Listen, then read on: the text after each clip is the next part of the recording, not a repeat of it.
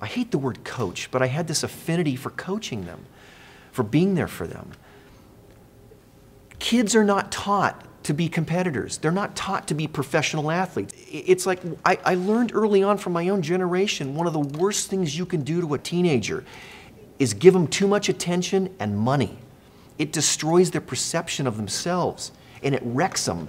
And I can't tell you how many casualties there were from my generation of these guys of I could have been a contender.